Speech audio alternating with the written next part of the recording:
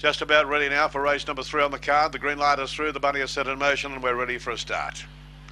All sets, ready, Racing, Spring Creek Kev, Dweller Shade Exhibitionist flew out of the boxes, crossed and went straight to the lead. Well under stride was Black Beach Girl, followed by uh, Sizzling Sally. Now where's Jawlar? It's back on the inside, angling for a run. Behind those Emerald Vapor, Shimmy Shim Sham and Spring Creek Kev down the back. Exhibitionist is right on the bunny and it's carving plenty of time. This is the fastest qualifier up to date. It's Fairnickham 15 in front. Jawlar's trying to qualify, dashing through Spring Creek Kev to second as they turn on the fence. Sizzling Sally. Exhibitionist has blitzed them. Exhibitionist exhibitionist by about 14 lengths, I'd say. Second in the race is Spring Creek Kevin. Third, the outside Sizzling Sally. Jawlar was next home, followed by Emerald Vapor, Shimmy Sham Sham, and Black Beach Girl was one of the tail enders.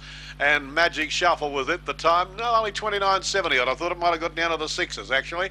It was a very, very quick performance early. Eight, the pink exhibitionist, the winner. Eight pink exhibitionist first, 29.71, 29.71. To the check, Spring Creek Kev second.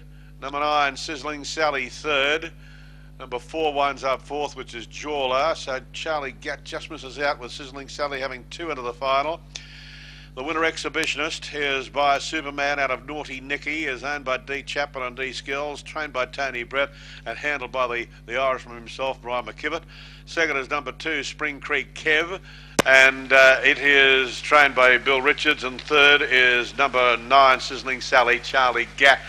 29.71 is the time. The margin's about to come up, and they were 12 and a half by one. 12 and a half by one were the margins. The time 29.71.